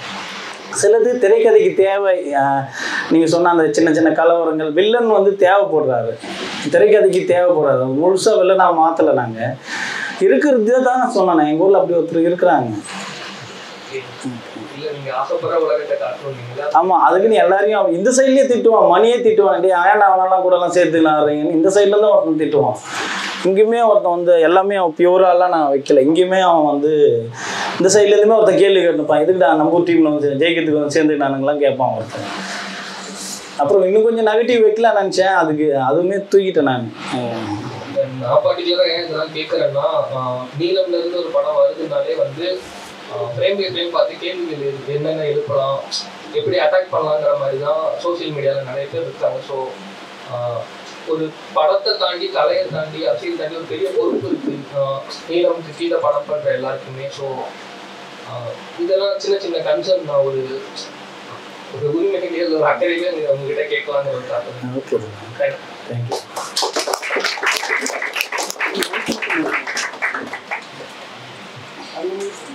கேக்குதா? ஆ. ஒரு மூணு கேள்வி இல்ல கேள்வி கேட்ட அப்புறம் மைக் வாங்கிக்கோங்க. ஒரு மூணு கேள்வி இருக்கு. ரஞ்சித் வந்து செலெக்ஷனுக்கு போவாரு. அப்போ அவங்க அம்மா வந்து ஒரு வசனம் படிக்க சொல்லுவாங்க. ஆ, ஆர்வமா போ போக போற வந்து அந்த வசனத்தை படிச்சுட்டு கொஞ்சம் தயங்குவோம். ஆனா அந்த என்ன வசனம் நீங்க காமிக்க மாட்டீங்க. அது அது என்ன வசனம் அந்த தயக்கம் என்ன?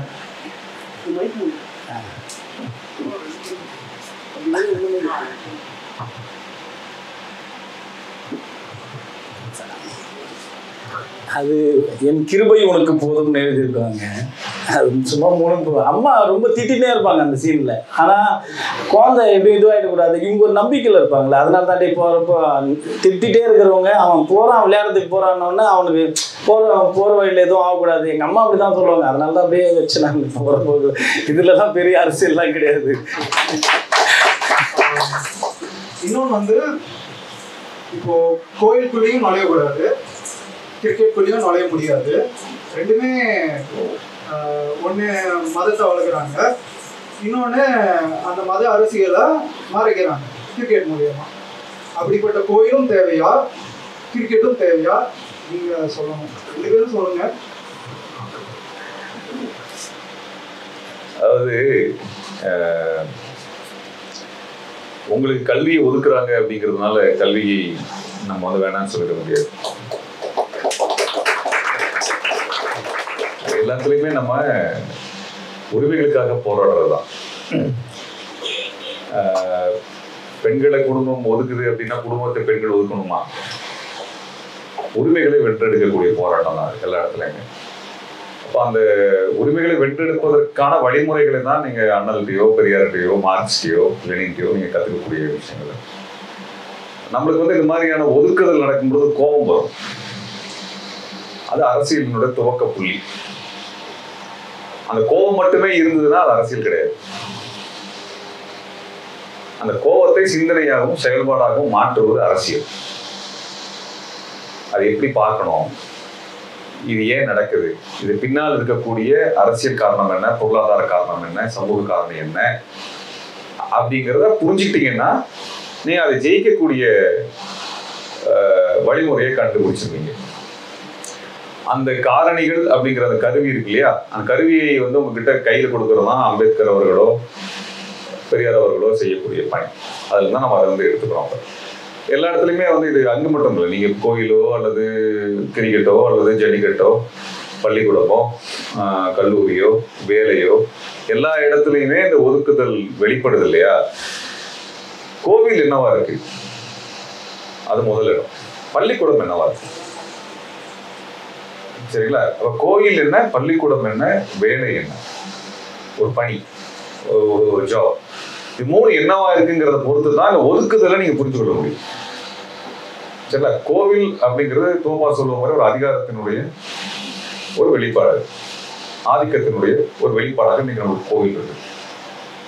அந்த கோவில்ல இந்த அதிகாரத்திற்கோ ஆதிக்கத்திற்கோ நம்ம பங்கேற்க முடியாதுங்கிற இடத்த ஒதுக்குறாங்க.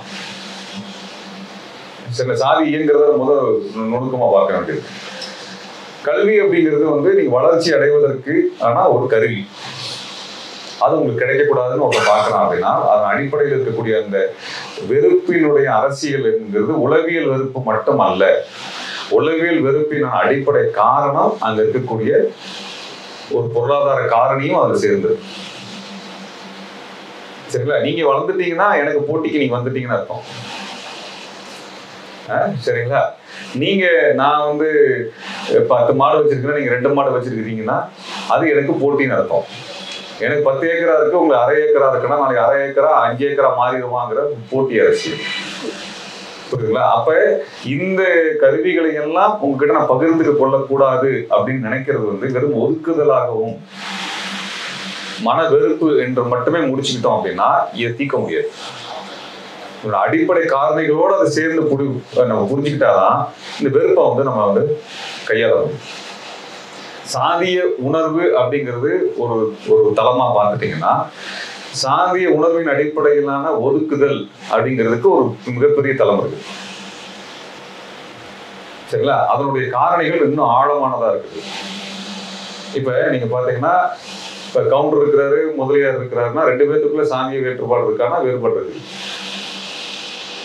சரில அவர் இவர் பொண்ணு தர மாட்டார் பொண்ணு எடுக்க மாட்டார். இவருக்கும் பட்டியல் சமூகத்துக்கும் சாதிய உணர்வு இருக்கானா சாதிய உணர்வு இருக்கு. ஆனா இங்கேயே இயங்க இங்க இயங்குற முறை வேறையா இருக்கு அங்க இயங்குற முறை வேறையா இருக்கு. சரிங்களா? அங்க காமிக்கக்கூடிய சாதிய வேறுபாடை நம்ம பெருசா கண்டுக்கிறது இல்லை கரெக்டா இந்த சாதிய வேறுபாடு தான் விவாதத்துக்கு உட்படுத்தும் அப்ப இந்த சாதிய வேறுபாட்டுக்கும் அந்த சாதிய வேறுபாட்டுக்கும் உள்ள வித்தியாசம் என்னன்னா அந்த சாதிய வேறுபாடுல சுரண்டல் கிடையாது. இந்த சாதிய வேறுபாட்டோட அடித்தளமே சுரண்டல் தான். இல்லைங்களா? ஒரு நாடார் பொண்ணு கவுண்டர் பையன் கல்யாணம் பண்ணிக்கிறாருல கவுண்டர் பொண்ணு ரெட்டியார் கல்யாணம் பண்ணிக்கிறாரு அப்படின்னா சாதி சண்டையெல்லாம் சண்டையெல்லாம் பார்ப்பானுங்க. கொடுத்துடலாம் மாட்டாங்க. பொண்ணு கொடுத்து பொண்ணெல்லாம் எடுத்துக்க மாட்டாங்க. வேறுபாடெல்லாம் இருக்கும். ஆனால் ஏன் சண்டையாவோ கலவரமோ மாறாது. ரெண்டு பேருமே அதிகாரத்தில் அவங்களுக்கு பங்கு இருக்கிறது. ரெண்டு பேருக்கும் பொருளாதாரத்திலே சம வலிமையில் இருக்கிறாங்க. மோதுனா ரெண்டு பேருக்கும் நட்டம் இல்லைங்களா? ஆனா இங்க அப்படி இல்லை. அதிகார பலமும் கிடையாது. பொருளாதார பலமும் கிடையாது. ரெண்டாவது இவர்கள் அதிகாரத்துல இருக்கிறதுனும் பொருளாதாரத்துல உயர்ந்த இடத்துல இருக்கணும்னா இவனை கீழே வச்சுக்கணும். அப்பதான் சுரண்ட முடியும். அப்ப சாதிய வெறுப்பு சாதிய மனநிலையினுடைய மிக முக்கியமான ஒரு முதுகெலும்பாக சுரண்டல் இருக்கு அதான் ஆதிக்கத்தினுடைய பொருளாதார காரணம் சரிங்களா? சாதிய கலவரத்துக்குள்ளார என்ன பண்றான்னா ஊருக்குள்ள பூந்து அடிக்கிறான் போறான் எரிக்கிறான் குடிச்சனை எரிக்கிறாங்கிறத கேள்விப்பட்டிருப்போம். அவன் பண்ற முதல் விஷயம் என்னவா இருக்கும்னா அவனுடைய எஜுகேஷன் சர்டிபிகேட் எல்லாம் பிடிச்சி எரிச்சிருவாங்க டிகிரி சர்டிஃபிகேட் பிடிச்சி எரிச்சிருவாங்க முதல்ல அந்த வழியை தான் பார்ப்பான். அவனோட வண்டி அடிச்சு ஒரு ஒன்று இது ஏன்னா அவனோட பொருளாதார ரீதியா வளர்ச்சி அடைவதற்குரிய கருவி அதன் மீது இவனுக்கு இருக்க பொறாமை வெறும் பொறாமையா பாக்குறாருங்க அதுக்கு பின்னால் இருக்கக்கூடிய சுரண்டல் உளவியல் ஆதிக்க உளவியல் அதுக்குள்ள பொருளாதார காரணி இருக்கு. சரி அந்த பொருளாதார காரணியும் அதோடு சேர்ந்து ஆதிக்க வெறுப்பு வெறுப்பும் சேர்ந்து ரெண்டும் சேர்ந்து இயங்குறது இருக்கு இல்லைங்களா? அதுதான் நம்ம புரிஞ்சுக்கும் பொழுது அது கையாளுறதை கத்துக்கணும் இல்லைங்களா? அப்ப அதனால நீங்க வந்து ஒரு இடத்த மொத்தமா நிராகரிச்சுட்டு போயிடக்கூடாது. தளத்துல போரிட்டு வென்று நாம் நம்முடைய பங்கை அடையணும். அது கல்வியாக இருந்தாலும் சரி கிரிக்கெட்டாக இருந்தாலும் சரி கோவிலாக இருந்தாலும் சரி. சரிங்களா? அப்ப அதுதான் நம்ம வந்து அதுல பார்க்க வேண்டிய இடம். சாதியம் அப்படிங்கிறதுல சாதிய வேறுபாடுகள் எல்லா ம- மட்டத்திலும் இருக்குது. அது கிடைமட்டத்துல சாதிய அடுக்கு இயங்குறது வேற மேலும் கீழுமாக இயங்குற சாதியம் என்பது வேற. சரிங்களா கிடைமட்ட சாதிய வேறுபாடுகளை நம்ம வந்து பெருசா கண்டுக்கிறது இல்லை. அதனால் சுரண்டல் கிடையாது. ஆனா மேலும் கீழுமாக இயங்கக்கூடிய அஹ், அடித்தளமே சுரண்டல் தான். அடித்தளமே சுரண்டல் தான். அதுதான் வந்து நம்ம புரிஞ்சுக்கிறதுக்கு ஒரு ஒரு எளிமையான ஒரு இடமா இருக்கும். அதனால நம்ம விட்டு கொடுத்துட்டுலாம் போயிட முடியாது. அது நம்மளுடைய இடம் நம்மளுடைய கோவில் நம்மளுடைய உழைப்பு நம்மளுடைய நிலம் நமக்கான உரிமை கேள்வியும் இருக்கு. இது படத்துல இருந்து ஒரு டிஸ்கஷனா மேக் ஃபவுண்டர் வந்து மெட்ராஸ்க்கு வருவாங்க. அப்போ ஒரு ஹிந்தி ஒருத்தர் பேசுறவங்க வந்து வேலை இங்கே செஞ்சுட்டு இருக்காரு. அப்போ ஒரு ஃப்ரெண்டு வந்து சண்டைக்கு போவார். சண்டைக்கு போனோன்னா டேய் அவர்கிட்டே வேண்டாம் சண்டைக்கு போகிறார் அவருக்கு என்ன பாவமோ அவர் இங்கே வந்து உழைக்கிறாரு. அப்படின்றது ரொம்ப நல்ல கருத்தா அந்த ரெசிபி அவங்க மேலே கோவப்படக்கூடாது அதான் ஞானம் ஆனால் இது திணிப்பு வந்து நம்ம பேசிக்கிட்டு இருக்கோம். இது வரக்கூடாது அப்படின்ற மாதிரி. இப்போ நான் சமீபத்தில் ஒரு நாள் ரயில்வே ஸ்டேஷனில் இருக்கும்போது என்ன பார்க்குறேன்னா நிறையா ஹிந்தி மக்கள் இங்கே வந்துட்டாங்க. அப்போ ஒரு- ஒருத்தவங்க வந்து நின்று பார்க்குறாங்க அந்த ஹோட்டலில் தமிழில் ஆங்கிலத்தில் எழுதியிருக்கு. படிக்க முடியாம போயிடுறாங்க. அப்போ அந்த கடை ஓனர் வந்து அந்த ஹோட்டல் ஓனர் வந்து இங்க ஹிந்தி போர்டு மாத்தணும் அப்படின்னு சொல்றாரு. அப்போ ஆஹ், ஒரு இயல்பா ஹிந்தி உள்ள வருது. திணிக்காம இது எப்படி பார்க்கறது இது ஒரு டிஸ்கஷனாக தான் கேட்குறேன் தப் எப்படி தப்பா இருக்கலாம் யார் கேட்டு கேட்குங்களா ஆ, ரெண்டுக்கும் சொல்லலாம் நீங்க என்ன பேட்டிங் பிடிக்க விட்டுறாரு இல்லை இல்ல அதாவது என்னன்னாங்க ஹிந்திய ரொம்ப எளிமையாக சொல்லலாம் ஹிந்தியை வந்து ஏன் எதிர்க்கிறாரு அப்படின்னா பெரியார் வந்து ஆயிரத்தி தொள்ளாயிரத்தி பதினெட்டு பத்தொன்பதுல பேசுறாரு. ஹிந்தி ஒரு மொழி அப்படிங்கிறதுனாலலாம் எதிர்க்கல அப்படிலாம் திணிக்கணும் அப்படிங்கிற இருக்குல்ல ஹிந்தி வந்தா சமஸ்கிருதம் வரும். சமஸ்கிருதம் வந்தா சனாதனம் வரும். வேதம் வரும் புராணம் வரும். சரிங்களா சாதி அடுக்கு நிலையெல்லாம் வரும். அதுக்கு நுழைவாயில் ஹிந்தி. சரிங்களா? ஹிந்தியில வந்து உங்களுக்கு ரெண்டு மொழி கலப்பு இருக்குது இல்லைங்களா? இந்துஸ்தானி இருக்குது உருது இருக்குது இல்லையா? அந்த அதுல வந்து உங்களுக்கு சமஸ்கிருத மயமாக்கப்பட்ட இந்தியை தான் இன்னைக்கு நீங்க பாக்குறீங்க அதனால ஹிந்தி வந்ததுன்னா அது எளிமையா அதற்குள்ள நுழையுங்கிறதுனால தான் ஹிந்தியை வந்து தமிழ்நாடு எதிர்த்தது. ஒன்று. ரெண்டாவது அரசியல் அது அரசு மொழியாக மாறுது அப்படின்னா அது உங்களுடைய மொழியினுடைய முக்கியத்துவம் இல்லாமல் போயிடும் அரசு அதிகாரத்தில். ரெண்டாவது எல்லாரும் அதை புரிஞ்சுக்க மாட்டேங்கிறாங்க. வேலை வாய்ப்புல மிகப்பெரிய சிக்கல் கல்வியில மிகப்பெரிய சிக்கல் வந்து இந்த மொழியாக்கு சிக்கல். இப்ப நீங்க வந்து ஒரு என்ட்ரன்ஸ் எக்ஸாம் எழுதுறீங்க. இங்கிலீஷ் எழுதணும் ஹிந்தியில எழுதணும் அப்படின்னா இங்கிலீஷ்ங்கிற உங்களுக்கு ரெண்டாவது மொழியில நீங்க எழுதுறீங்க. ஆனா இந்தி மாநிலத்துல வர்றவன் தாய்மொழி எழுதிடுவான்.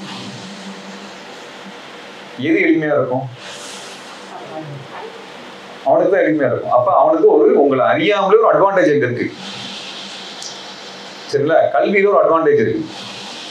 நீ கோர்ட்ல போனீங்கன்னா அந்த அட்வான்டேஜ் வந்து அவனுக்கு கிடைக்குது.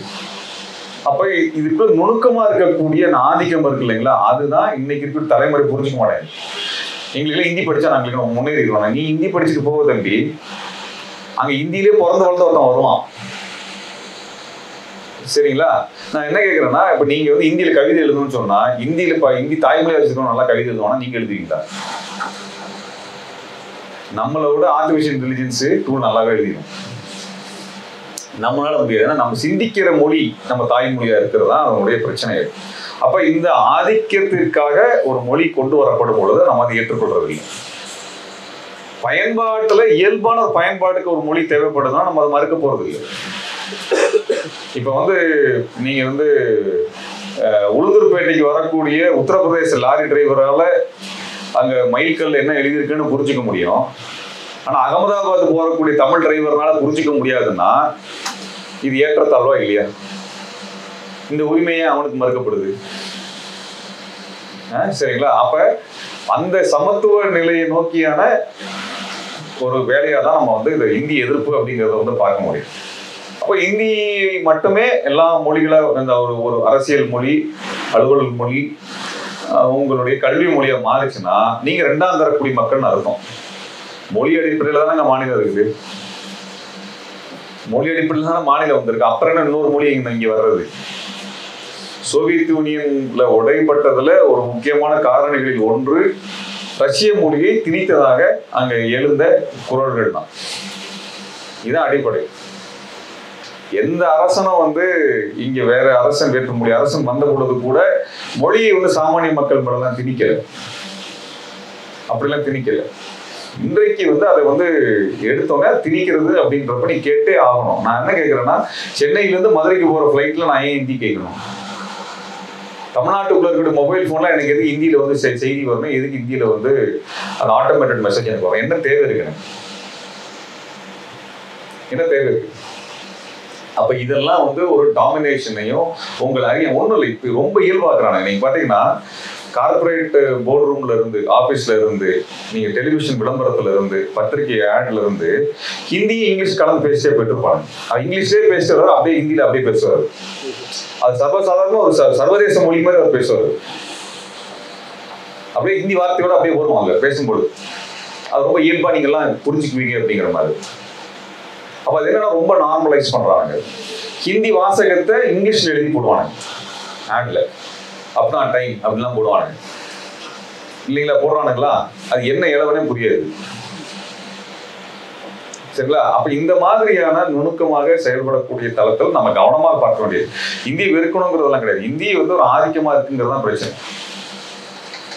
இதுதான் உலகத்துல இருக்கக்கூடிய சிக்கல்களை நுணுக்கமாக ஆதிக்கம் தலை நுழைக்கக்கூடிய இடங்கள் இருக்கும் அதனாலதான் பார்க்கணும் இந்திய எதிர்ப்பு போராட்டத்தை வந்து ஏதோ இன்னைக்கு ஒரு நம்ம அண்ணாமலை ஏதோ பேசியிருக்காரு பிஞ்சை செருப்பு அப்படிங்கிற மாதிரி பேசியிருக்காரு சரிங்களா? அது இந்திய எதிர்ப்பு அப்படிங்கிறது போராட்டம் எண்பதுகள் வரைக்கும் நடந்திருக்கு தீவிரமாக. இப்ப நடக்க வேண்டிய தேவை இருக்கு.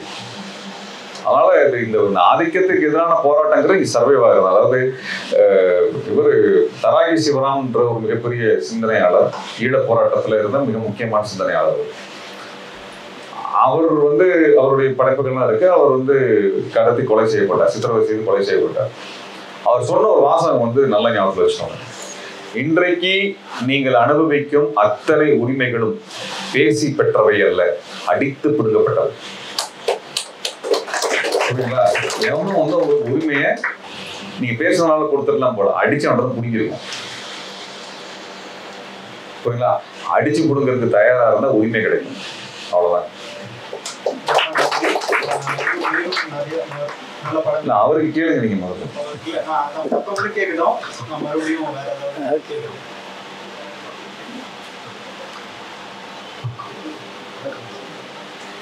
சாதி வந்து பாத்தீங்கன்னா பேஸ்ல மைக் மைக் கொஞ்சம். ஊர் லெவலில் வந்து பார்த்தீங்கன்னா ரொம்ப எளிய மக்கள்கிட்ட ஈஸியாக வந்து கம்பேரிட்டிவ்லி நகரங்களில் விட கிராமங்களில் வந்து எளிய மக்கள்கிட்ட அவங்கள அறியாமலேயே வந்து அவங்க மைண்ட் அவங்கள்ட்ட இருக்கு அந்த ஜாதிய மனப்பான்மை. அது வந்து அவங்கள அறியாமலேயே இருக்கு. அதை களையிறதுக்கு வந்து இங்கே இருக்கிற அரசியல் கட்சிகளும் சரி கலை சார்ந்த படைப்பாளர்களும் சரி எந்த மாதிரியான முன்னோ முன்னெடுப்புகளை வந்து எடுக்கணும்னு நீங்கள் ரெண்டு பேருக்கும் ரெண்டு பேருக்குமான அவர் சொல்லட்டும். எனக்கு இந்த படம் எடுக்கிறது தெரியும்? இப்போ படம் மூலிமா ஏதாவது இந்த மாதிரி ப்ளூ ஸ்டார் மாதிரி வேறு ஏதாவது ஒரு படம் எடுக்கணும் அந்த மாதிரி என்னோட வேலை தான் சின்னது தான் அது மாதிரி அந்தந்த தளத்தில் அவங்கவுங்க வேலை செய்யணும். அவன் யோசித்து அப்படி வேலை செஞ்சாவே அது கரெக்டாக இருக்கும்னு நினைக்கிறேன். ரெண்டாவது அந்த தன்னிலை உணர்தல்ன்றது வந்து இப்போ ராஜேஷ் கேரக்டர் வந்து பார்த்தீங்கன்னா அவன் தண்ணி அவனுக்கு அது நடக்கும்போது தான் அவன் அதை ரியலைஸ் பண்ணி அதுல இருந்து மாறுறான். ஸோ அந்த தன்னிலை உணர்தல் வந்து இன்னும் இந்த கிராமப்புற மக்கள்கிட்ட இல்லாததுனால வந்து இன்னும் அது எஃபெக்டிவா இல்லையோ அப்படின்ற ஒரு கேள்வி இருக்கு அது தெரியல எனக்கு என் அந்த நான் படித்த ஸ்கூலில் நான் எடுக்காத இந்த படத்தில் எடுக்காத ஒரு பக்கமும் இருக்கு. ஏன்னா நான் அந்த சின்ன வயசுலேருந்து எழுதியிருப்பேன் இந்த கதையை. அப்போ சின்ன வயசில் நானும் ராஜேஷும் ஒன்றா தான் விளையாண்டுருந்தோம் அப்படி தான் வரும். அங்கே நாங்கள் வேற ஒரு டீம் வந்தாலும் நாங்கள் ஒன்றா விளையாடுவோம். அது அந்த ஸ்கூல் வயசை தாண்டி கொஞ்சம் கொஞ்சமாக பெருசான உடனே அவன் பிரிஞ்சிருவாங்க. பிரிஞ்சிருவாங்கன்னா அப்போ தான் அவன் ஊர் காலனின்னு அவனுக்கே தெரியும்.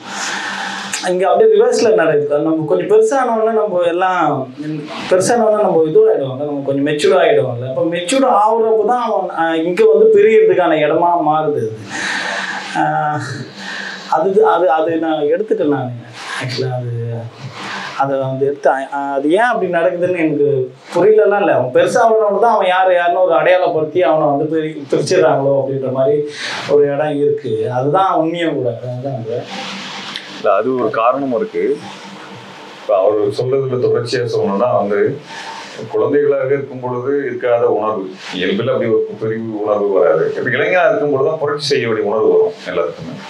அப்படி இல்லாம எதிர்நிலையில போகக்கூடிய மாதிரி ஒன்றா இருக்கு. இளைஞர் தன்மையில இன்றைக்கு வந்து ஒரு ஹீரோயிசத்துக்கு அடையாளமாக ஜாதி நிறுத்தப்படுது. ஒரு கட்டத்துக்கு மேல வாழ்வாதாரத்தின் அடித்தளமா இருக்கு. சரிங்களா? ஒரு தளத்துக்கு மேல அவனுக்கு இது வாழ்வாதார சிக்கலா இருக்கு. அதற்கு மேல அவனுடைய கௌரவமான ஒன்று அப்படின்னு பார்க்கப்படுறதும் அவன் சொத்தை பாதுகாப்பதுங்கிறது தான் இன்னொரு பொருட்களை பார்த்தீங்கன்னா இன்றைக்கு ஒரு சமூக பாதுகாப்புக்காக சாதியாக தான் பார்க்குறான். ஊருக்குள்ள உங்களுக்கு பிரச்சனை வந்துச்சு அப்படின்னா ஜாதிக்காரன் வருவான். ஸ்டேஷனுக்கு போகணுமா ஜாதிக்காரன் வருவான். பேங்க்குக்கு போகணுமா ஜாதிக்காரன் வருவான். கல்யாணத்துக்கு போகணுமா ஜாதிக்காரன் வருவான். சரிங்களா? எங்கேயாவது வேலைக்கு போறீங்களா அங்கே நம்ம ஜாதிக்காரன் இருக்கிறான் அப்போ சாதி வந்து அஹ், அரசை விட வலிமையாக இயங்கிக் கொண்டிருக்கும். ஒருவனுடைய தேவையெல்லாம் நிறைவேற்றக்கூடிய இடத்தில் சாதி இயங்குது. சரிங்களா? அப்ப அவனுக்கு வந்து அவனுக்கான பாதுகாப்பாக சாதி இருந்துகிட்டே இருக்கு. எனக்கு ஏதாவது பிரச்சனை ஜாதி சம்பந்தம் வரும். அப்படிங்கிற ஒரு தன்மை ஒரு பாதுகாப்பு அரணை வந்து அவன் அறியாமலே அது வந்து உணர்றான். அந்த பாதுகாப்பு அரணை பாதுகாக்கணும் அப்படின்னா அந்த ஜாதியை வந்து மற்றவன் டிஸ்டர்ப் பண்ணிடக்கூடாது அப்படிங்கிற இடத்துக்குள்ள அந்த சண்டைகள் நிறுத்தம் நிறுத்தப்படும். ஒன்று. இன்னொன்று வந்து அரசியல் பொருளாதாரம். நான் பார்க்கணும்னா அரசியல் அதிகாரத்தை வைத்துக்கொண்டு லோக்கல்ல கான்ட்ராக்ட் எடுக்கிறது பிசினஸ் பண்றது பண்ணக்கூடிய அந்த சாதிய ஆஹ், இடத்துல இருந்து வரக்கூடிய ஒருத்தருக்கு தன்னுடைய கூட்டம்ங்கிறது விசுவாசமான தொழிலாளர்கள் நம்ம அண்ணனுக்கு நம்ம தான் நிக்கணும்னு போய் நிக்கிறாங்க இல்லையா? லாரி ஓட்டுறாங்க கார் ஓட்டுறாங்க லா- மண் அள்ளுறது பாக்குறாங்க. இப்படி கும்பலா போறது அண்ணன் கூட கெத்தா நிக்கிறது அவனெல்லாம் பாத்தீங்கன்னா அவன் வந்து யாருன்னா விசுவாசம் மிக்க அடிமைகள் அவன். சரிங்களா அப்ப அவனுக்கு ஒரு சாதிங்கிறது வந்து ஒரு அஹ், குறைந்த சம்பளத்தில் கிடைக்கக்கூடிய தொழிலாளர் அவனுக்கு கொடுக்குது. அந்த குறைந்த சம்பளத்தில் கிடைக்கக்கூடிய தொழிலாளர் மட்டுமல்ல விசுவாசம் உள்ள தொழிலாளர்கள் கொடுக்குது. நம்ம அண்ணனுக்கு வந்து நீ வேலை பார்க்க மாட்டியா? நம்ம அண்ணனுக்காக நீ கேஸ் வாங்க மாட்டியா? நம்ம அண்ணனுக்காக நீ ஜெயிலுக்கு போக மாட்டியா? நம்ம அண்ணனுக்காக அடிதடி பண்ண மாட்டியா? இல்லைங்களா? அது எல்லாம் நம்ம ஜாதிக்காக பண்ண மாட்டியா? அப்படின்னு போகும்பொழுது அது எல்லாமே அதற்குள்ள இயங்கக்கூடிய ஒரு பொருளாதார கட்டமைப்பும் இருக்குது சமூக பாதுகாப்பு கட்டமைப்பும் இருக்குது. இது அப்படியே வந்து அர- அதிகார வர்க்கத்துக்குள்ள இருக்கு. அரசு அதிகாரிகள் கிட்ட இருக்குது காவல்துறையில இருக்குது. இது ரெண்டும் சேர்ந்துக்குது. நம்ம அண்ணன் தான் ஸ்டேஷன்ல இருக்காரு அவரோட ஃப்ரெண்டு தானே இருக்காரு. நீ போன இன்ஸ்பெக்டர் பேசிக்கலாம் முடிஞ்சு போச்சா கதை? அப்புறம் இங்க போலீஸ் சட்டம் ஐபிசி புரியுதுங்களா? அவர் நம்மளுக்கு தெரிஞ்சவர் தான் கலெக்டர் ஆஃபீஸ்ல இருக்கிறாரு. அவர்கிட்ட பேசிக்கலான்றது அடுத்த கட்டமா போவோம். இப்ப நம்ம அண்ணன் தான் எம்எல்ஏ கூட கூட பிஏவா இருக்காரு. அவர் எம்எல்ஏ பேசிடுவாரு. எம்எல்ஏ நம்ம அமைச்சர்கிட்ட நான் பேசிக்கிறேன்னு இது அப்படியே விரிவடைஞ்சு விரிவடைஞ்சு போகுதா? அரசியல் கட்சியா நீங்க பாத்தீங்கன்னா உங்களுக்கு இயல்பா கிடைக்கக்கூடிய ஒரு கலெக்ட் ஓட்டுங்கிறது காஸ்ட் தான். இயல்பா கிடைக்கிறது. எத்தனை பெரியார் ஓட்டு கேட்க போறான் ஊருக்குள்ள எத்தனை அம்பேத்கரிஸ்ட் இருக்கான ஓட்டு கேட்க போறான்.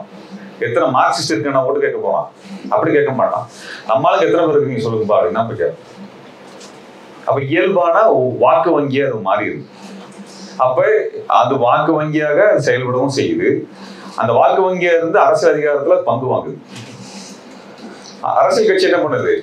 இவங்க தான் அந்த சமூகம் நிறைய இருக்குது. இவங்களோட பிரதிநிதித்துவம் தரணும்னு சொல்லிட்டு அந்த சாதிக்கான பிரதிநிதிகளை முன்னிறுத்துறாங்க. சரிங்களா? அது ஒரு வகையில் என்ன நினைப்பீங்க? அந்த சாதிக்கான ஆள் அந்த இடத்துல இருக்கும்போது அவனோட பிரதிநிதியாக அவன் பார்க்கலாம். ஆனா அந்த பிரதிநிதியா நிக்கிறவன் ஒரு பிற்போக்குவாதியாகவும் சுரண்டல்வாதியாகவும் இருந்தா என்ன ஆகும்? அவன் சாதி வளரு.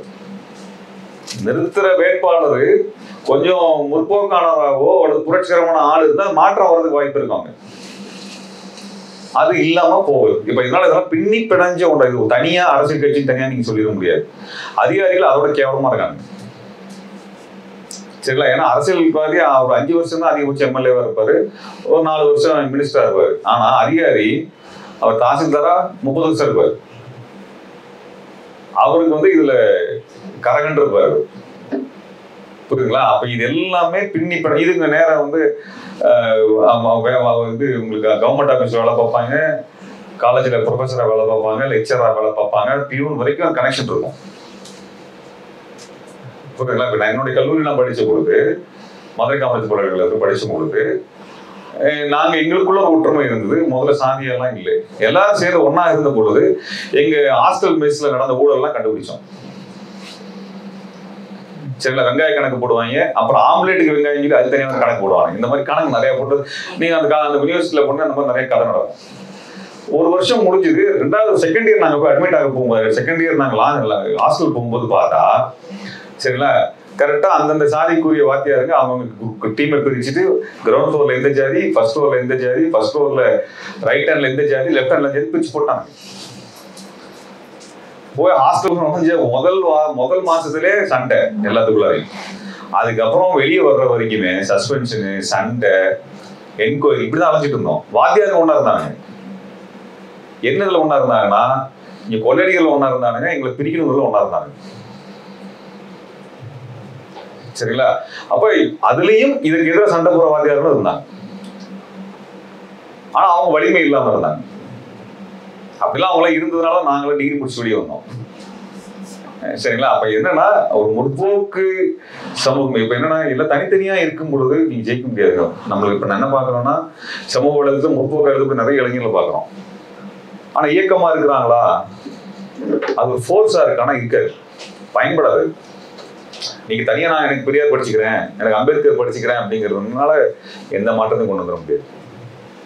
ஏன்னா சாதி அது ஒரு சொசைட்டியா இயங்குது. அது ஒரு இயக்கமாக இயங்கிட்டு இருக்குது. அது ஒரு ஆர்கனைஸ்டா இருக்குது.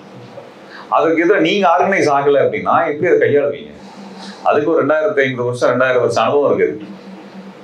எப்படி ஜாதியா இயங்குறது இயக்கமா இயங்குறது ஹைராக்கிகளா இயங்குறது அப்படிங்கிறது அதுக்கு ஒரு அனுபவம் இருக்குது.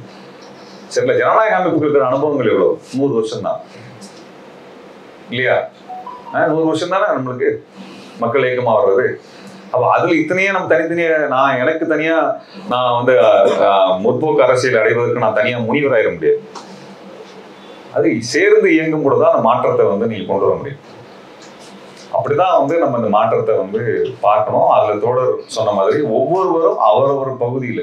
இப்ப அவர் வந்து படம் எடுத்து பணம் சம்பாதிக்கணும்னு நினைச்சாங்கன்னா இந்த படம் பண்ண வேண்டியது இல்லை அவர் படம் செய்யக்கூடிய ஒரு திறமையில இன்னும் சிறப்பான ஒரு இந்த நிறைய பாக்குறோம் இல்லைங்களா? பெரிய பெரிய இந்த இப்படி குத்துனா ரத்தம்லாம் வர்ற மாதிரி அதெல்லாம் பண்ணி அப்படி நம்மளுக்கு கை கழுவிட்டே வர வேண்டிய கழிச்சோட வெளியே வர வேண்டியது தேட்டர்ல கசாப் கடையில இருந்து வர மாதிரி எல்லாம் படம் எடுத்து சம்பாதிக்கிறாங்களே அந்த மாதிரி அவர் பண்ணிட முடியும். ஏன்னா ரெண்டாவது ஒரு ஆர்டிஸ்ட் வேற சரிங்களா? அப்ப அந்த மாதிரி செய்யாம கிடைச்ச வாய்ப்புக்குள்ளார இதையெல்லாம் தன்னோட அனுபவத்தையும் தன்னுடைய விருப்பத்தையும் தான் பார்த்த அரசியலையும் சொல்ல நினைக்கிறதுக்கலாம் அதுதான் ரொம்ப ரொம்ப முக்கியமான ஒரு ஆக்ஷனை நான் பார்க்குறேன். ஒரு செயல்.